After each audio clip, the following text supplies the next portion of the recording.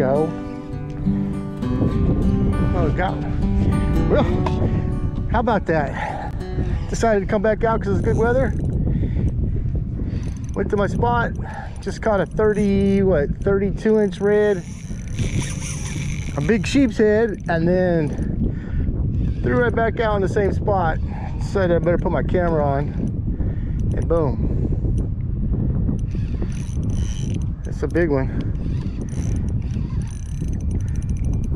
I'm sure it's a red. He just, he's running.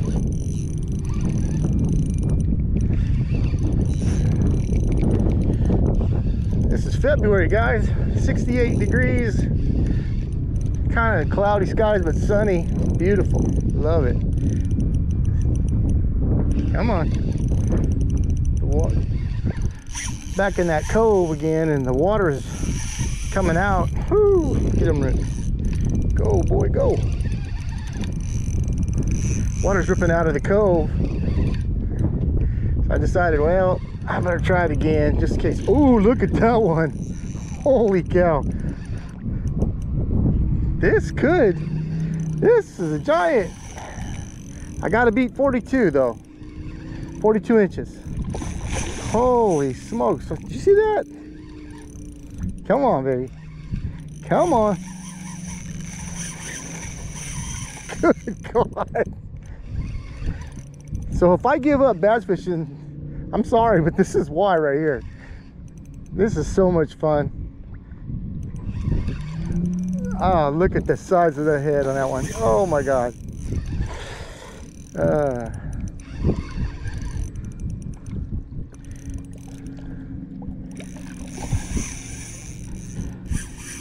come here.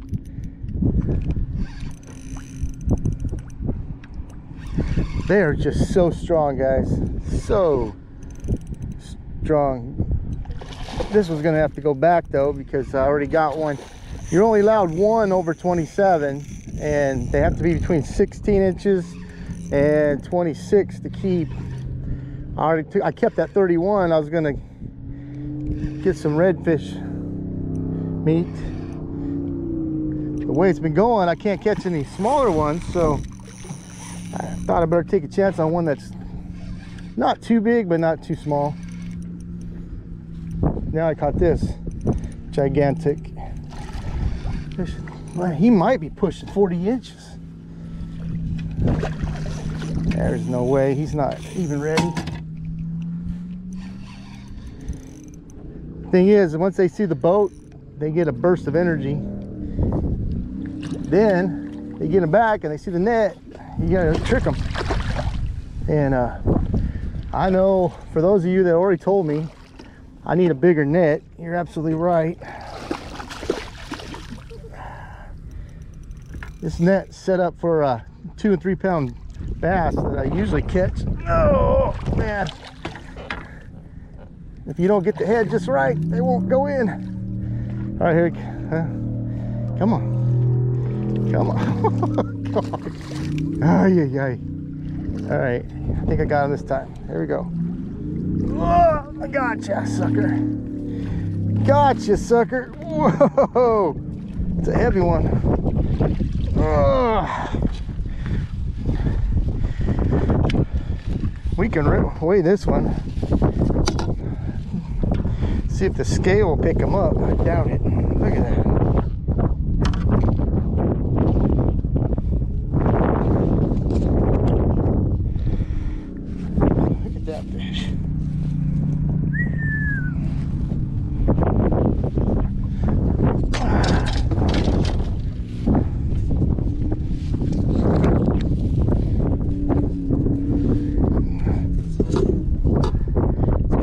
Technique too. I'm just doing a quarter ounce split shot with the,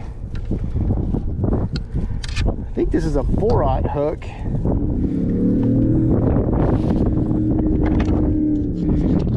Go smaller. Once these things eat it, they usually engulf it. Oh man, don't spin like a big shark.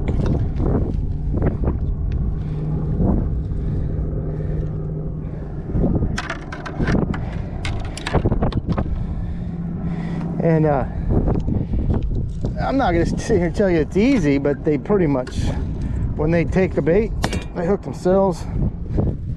They, when they want it, they want it. All right, let's check it out. All right. Guys, only 32.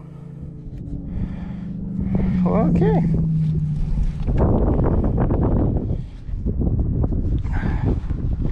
Well, I'll take it. Pick them up. Take a nice little picture for later. Let it go. Oh, you're crapping all over.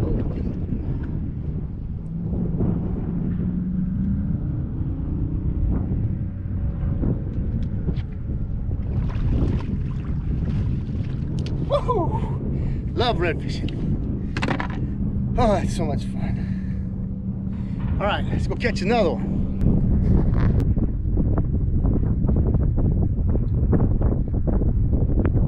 There's a fish.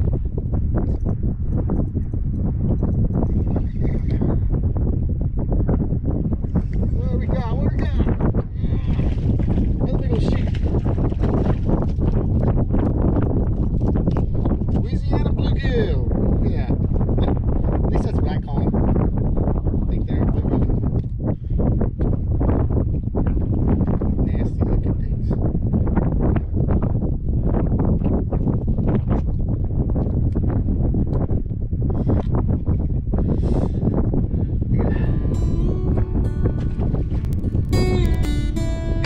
Okay, that's three fish in a row. Four.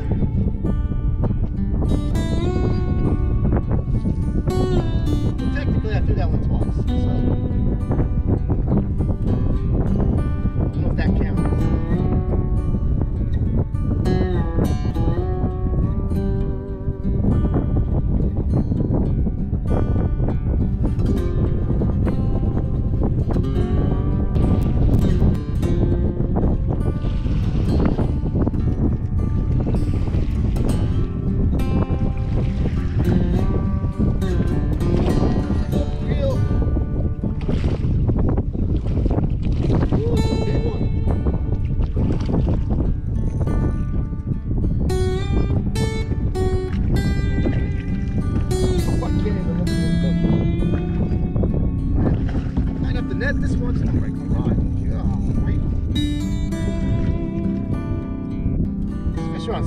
On man.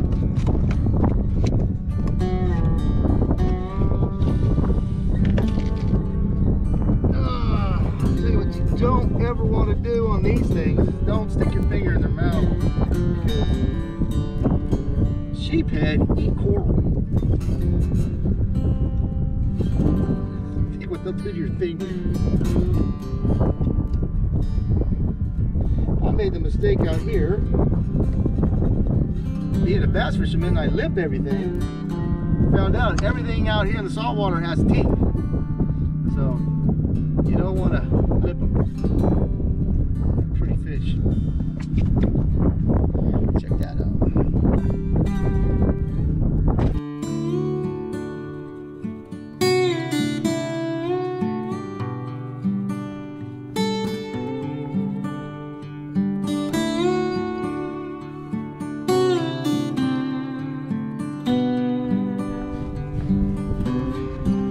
Beautiful morning though. There's something, a rock. Rock, rock, rock. Look at that sky right there, man. Blue skies, clouds coming in off the Gulf of Mexico. God.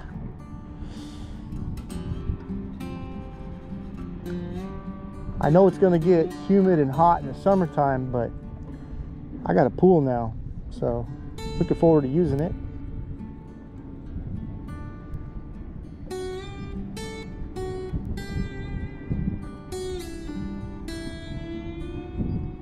But when people ask me, why did you move to Louisiana? This right here is why. Plus my wife's family's here. And you can afford to live here. it's, it's less expensive, that's for sure.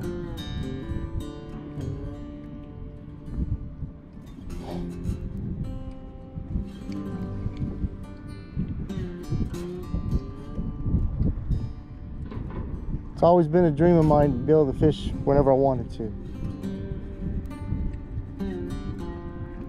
I think I'm achieving that dream.